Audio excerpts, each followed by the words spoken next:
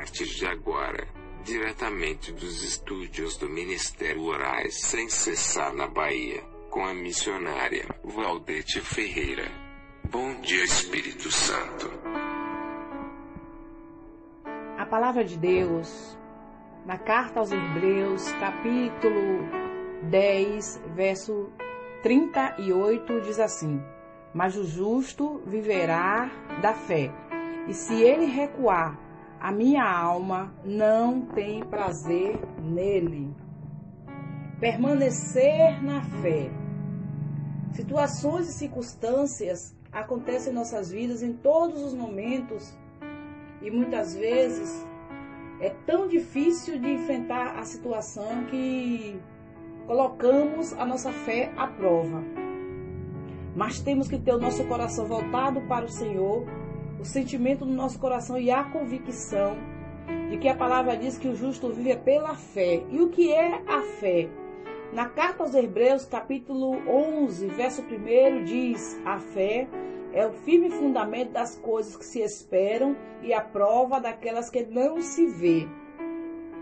Na verdade, é você olhar com seus olhos naturais, não contemplar, mas pela fé você vê o milagre acontecendo, pela fé você vê a providência de Deus, pela fé você crê que Jesus veio, veio, padeceu aflições, morreu, ressuscitou ao terceiro dia e está sentado à direita de Deus, intercede por nós com gemidos inexprimíveis e está a preparar para nós a Santa Jerusalém.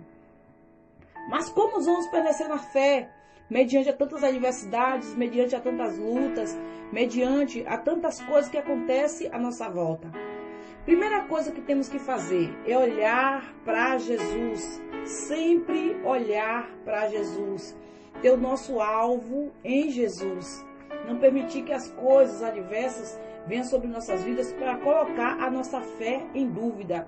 Na carta aos Hebreus, capítulo 12, verso 2, a palavra de Deus diz: olhando para Jesus, o autor e consumador da nossa fé, o qual, pelo gozo que lhe estava proposto, suportou a cruz, desprezando a afronta e assentou-se à destra do trono de Deus. Temos que olhar para Jesus.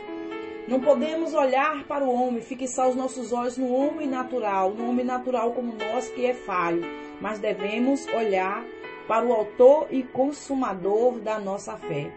Necessário também é, para que nós venhamos permanecer na fé, fugir da aparência do mal. 1 Tessalonicenses 5,22, a palavra de Deus diz: abstendo-vos de toda aparência do mal. Não permitindo, amados, nos contaminar, não permitirmos voltar atrás, não permitirmos olhar para as coisas que não agradam a Deus, nem, nem, nem ao menos tocar, nem permitir se alegrar com coisas que não agradam a Deus. A Bíblia diz que é para que nós venhamos fugir da aparência do mal. Isso é necessário para que venhamos permanecer na fé. Nós também temos que buscar comunhão com Deus. Nós temos que buscar estar com o nosso coração firmado no Senhor, com o nosso coração voltado para o Senhor, para que em todo tempo o nosso coração venha estar direcionado por Deus. E como vou buscar comunhão com Deus? Primeiramente, na leitura da palavra. A Bíblia diz que muitos perecem por falta de conhecimento. Então, quando você começa a ler a palavra, quando você começa a meditar na palavra de Deus, buscar entendimento da palavra de Deus, você consegue permanecer na fé.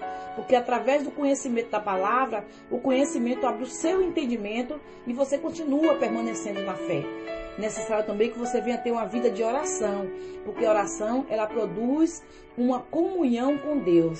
Então, amados, para permanecer na fé, nós temos que olhar para Jesus, fugir da aparência do mal, buscar comunhão com Deus na oração e na leitura da palavra.